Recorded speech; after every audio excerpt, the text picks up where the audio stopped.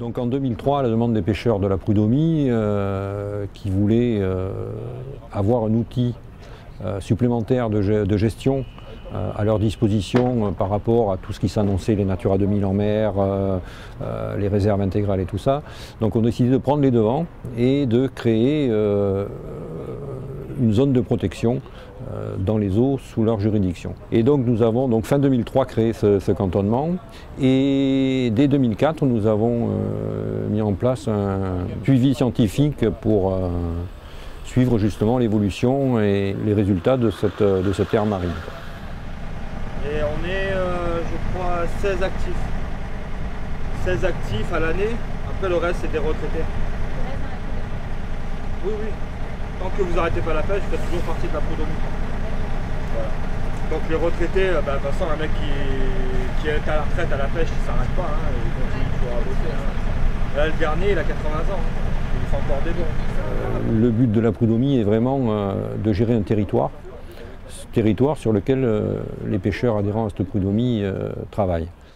Toujours est-il que, en tous les cas, l'image de marque d'une profession qui se prend en main pour son futur euh, a été euh, peut-être, moi ce que je dis, le, plus bénéfique pour, euh, pour les pêcheurs, parce qu'on a beaucoup parlé de cette initiative hein, qui est quand même très très rare. elle a été présentée en Europe dans à plusieurs organisations et même au niveau mondial en Australie, que des pêcheurs s'amputent un territoire de pêche pour gérer le, le futur, c'est pas courant. En général, c'est plutôt imposé par l'État quand tout va mal. Alors que nous, on l'a fait quand tout allait bien et pour préserver nos, lendemains.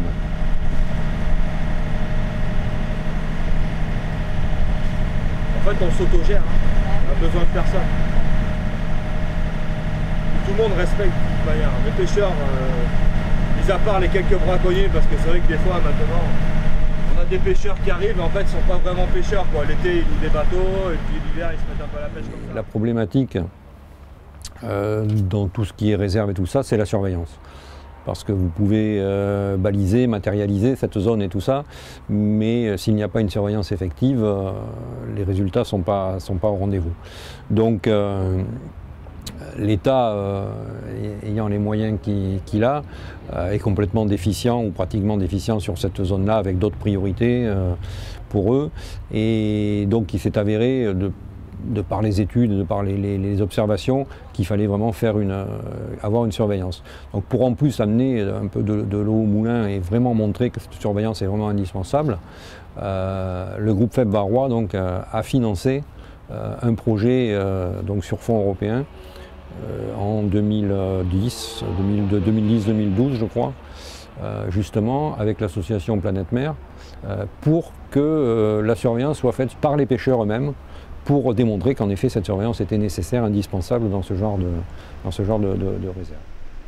Les pêcheurs de la de Saint-Raphaël viennent nous voir et nous, nous, parlent de ce cantonnement de pêche qu'ils ont créé donc, depuis 2003 en nous demandant de, voir qu'est-ce qu'on pouvait faire pour euh, améliorer sa gestion, améliorer sa surveillance euh, et en bref euh, réfléchir à l'avenir de ce cantonnement pour qu'il soit réellement efficace. Hein.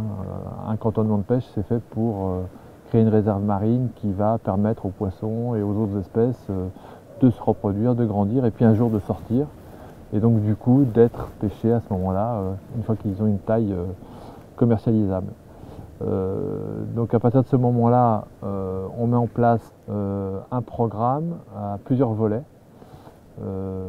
un volet de surveillance faite par les pêcheurs eux-mêmes, à terre et en mer, un volet d'étude des statuts juridiques du cantonnement, un troisième volet qui est un volet de valorisation du savoir des pêcheurs et un dernier volet qui est un volet de communication et de, mobilisation, d'information du grand public pour qu'il respecte cette zone.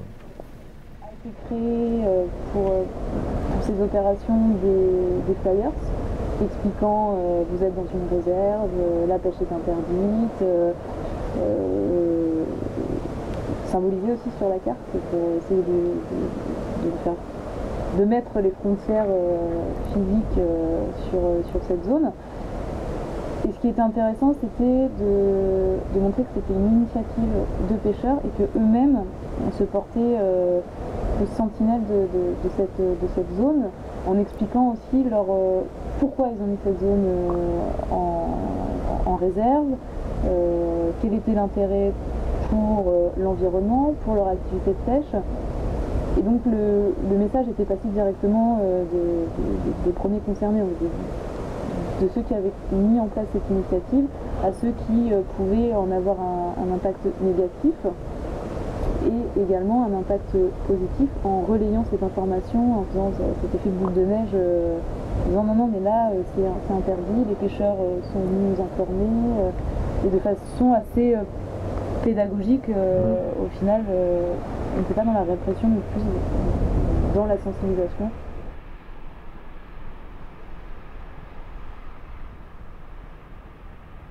Donc on a commencé à envisager, enfin j'ai commencé à présenter l'idée euh, aux pêcheurs à la prud'homie en disant, ben voilà, si vous voulez que ça aille plus loin, il y a un effort important de votre part qui a été fait pour mettre en place euh, ce cantonnement. Si vous voulez que ça aille plus loin, il faut obtenir des moyens. Et obtenir des moyens, ça veut dire qu'il faut peut-être, dans ce cas-là, envisager un changement de statut évoluer vers autre chose. On ne sait pas quoi encore, mais évoluer vers autre chose. Et évoluer vers autre chose veut dire à ce moment-là qu'il faut impliquer l'ensemble des utilisateurs de, cette zone. Et euh, bah, les premiers auxquels on a pensé, eh bien, ce sont les, les, clubs plongés. Donc on a commencé à envisager avec eux bah, la mise en place de suivi, ce qu'on appelle la science participative, ou avec des protocoles simples, mais pas tellement différents forcément de ce que nous on applique en routine euh, dans le milieu scientifique, avec des protocoles simples, essayer d'obtenir dans ce cas-là, bah, de la part de ces, de ces plongeurs, de ces clubs de plongée, un suivi plus ou moins régulier de, la zone.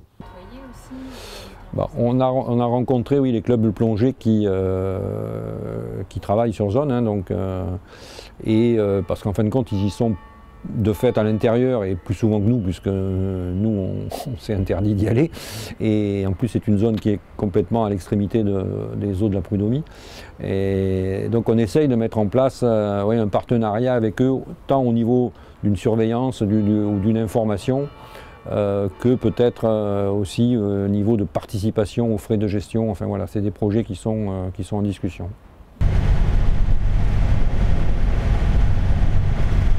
Ouais, ça se transmet de génération en génération. C'est un métier qui s'apprend sur le tas. Hein. pas arriver du jour au lendemain. Euh, c'est l'expérience après culture. Mais bon, après, euh, vous avez beau avoir 40 ans de métier, euh, si la mer va reprendre ses droits, elle les reprendra.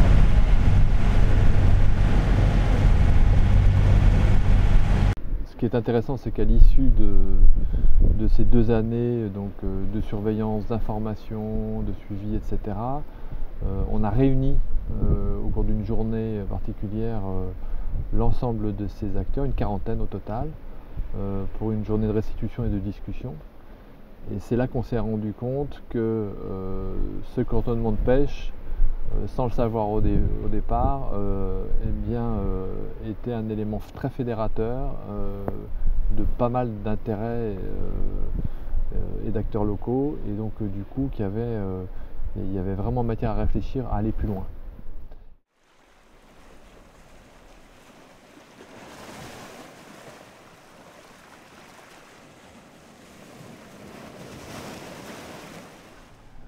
Souvent, c'est qu'en fin de compte, euh, de la différence euh, naît la richesse et de, et de la discussion et du dialogue euh, naissent les solutions. Donc, c'est pas toujours facile. Hein. On a vu même dans ce projet-là euh, les discussions avec les différents utilisateurs de la zone, les différents partenaires. On n'est pas, pas, toujours d'accord et euh, le truc c'est d'arriver à un consensus pour que, euh, dans le cas présent, au moins la nature et la mer y trouvent un intérêt.